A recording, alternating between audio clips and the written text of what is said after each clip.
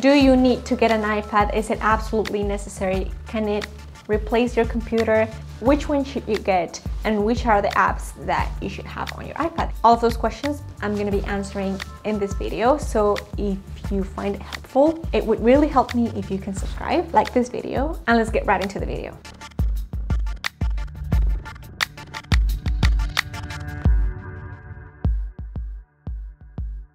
Story time, I never had an iPad when I was in school, only on the few last months, really. And that was because I never thought that it was necessary. No one ever told me to get an iPad. I only had my laptop, which I used for my school time and I was just okay, you know. We were not sketching on iPad, none of that was a thing when I was in university. This was like 2019. And so an architect came to me and told me to get an iPad. And I was like, okay, first of all, why do you really want me to get an iPad? I'm good, thank you, I don't need that.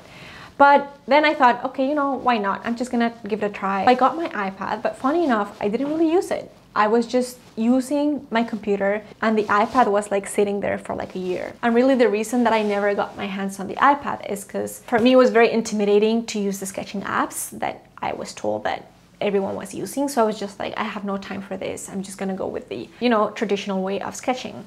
But then I really thought that I was falling behind because my friends in school, they started to get iPads and then they were doing everything on iPads. And I was like, I want to do that. And I already have an iPad, so why shouldn't I just learn? So I learned the tools and I will talk about the apps that you should be getting if you're thinking to get an iPad. But it took me a little while to just get the hang of it and get used to it really to, you know, sketch on a screen. And then I couldn't go back. It became my favorite thing. I do love my iPad. I use it for a bunch of things, not only for sketching. Now, the question that I get asked a lot is, should this replace this? Your iPad will never be able to replace your computer.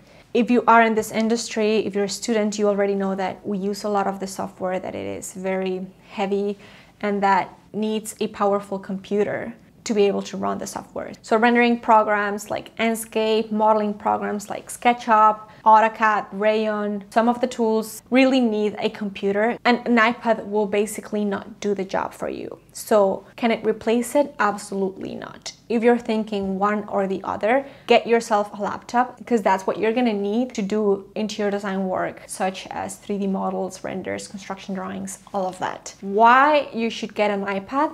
If you are thinking to get into sketching and you're probably intimidating of sketching. This will help you break that fear. If you want to be more organized, if you want to be having things on the go. So for example, I do my SketchUp work on my computer, but when I have to, you know, just do little changes or do like a quick model, I will do it on my iPad. So an iPad is a tool that complements a laptop, never one or the other. And for me, it took me a while to buy this because the priority was the laptop. And when I was in school, I was broke. So I didn't have the money to, you know, buy an iPad. But after I was able to buy it, I really fell in love with it. So if you get yourself an iPad, which one you should get, if I'm being honest with you, as long as you get an iPad that can run the tools that I'm gonna tell you next, you will be fine.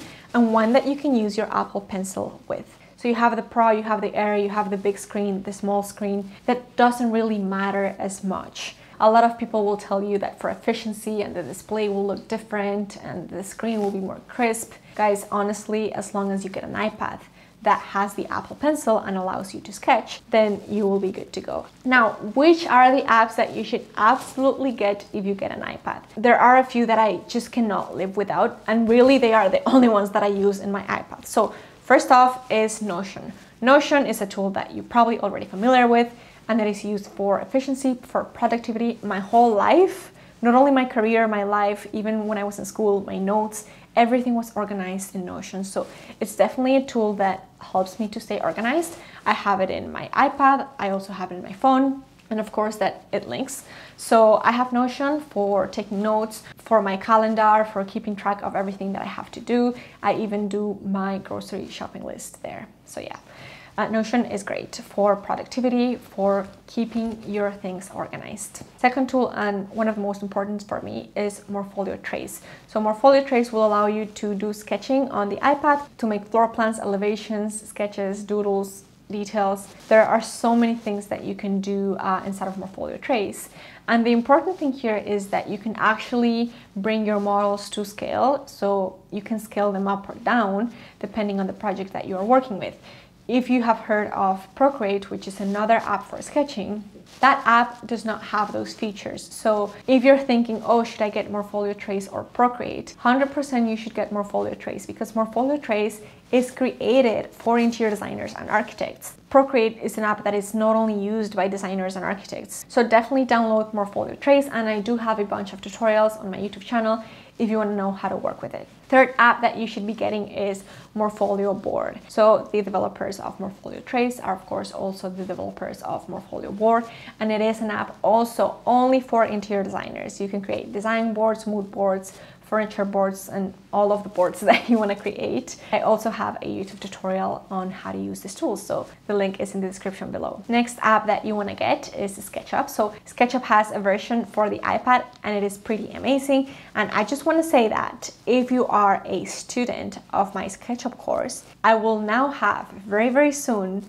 iPad lessons where you can actually learn how to use SketchUp on the iPad. If you're already a student, you don't have to pay for this. It is included, it will be free. If you are not a student of my SketchUp course and you wanna learn how to master SketchUp for interior design and architecture, or if you already use SketchUp and you have the problem that your SketchUp model is too slow, you do not know how to use all of the tools, you have no idea how to have an efficient workflow, then my course will teach you exactly that. I teach students from all over the world how to use SketchUp correctly so that you can create amazing interior design work, amazing designs that you can add to your portfolio and get clients, get jobs, get success in the industry. So if you want to learn SketchUp with me on desktop and on iPad, you can click the link in the description. All the details to my SketchUp course are in the description of this video. So going back to the tools, definitely get SketchUp on the iPad. It works amazing. It works very, very smooth and you can use a lot of the tools that are also in your desktop. And just for the record, the desktop version is like the complete version of SketchUp. On the iPad, the tools are limited, but still you can get a lot of things done if you have uh, the iPad version. And the last tool that I have to have in the iPad as a designer is Canva. Probably you already use Canva I have to tell you, I used to use Canva on my laptop, but now that I have the iPad version, I rarely ever use it on my laptop. I use a lot of the mind maps or just to make PDFs to update my portfolio. Now I am doing my portfolio on Canva because it is free, so I stopped using tools like InDesign or Photoshop. So of course I don't have to tell you Canva is amazing. So if you have it on your iPad, you will be so happy, I promise. So those are the tools that are absolutely must have. I actually forgot one tool. Pinterest. How could I forget Pinterest? But we already know Pinterest. Of course that it is on my iPad as well. Okay guys, thank you so much for watching. Are you getting an iPad next or are you not?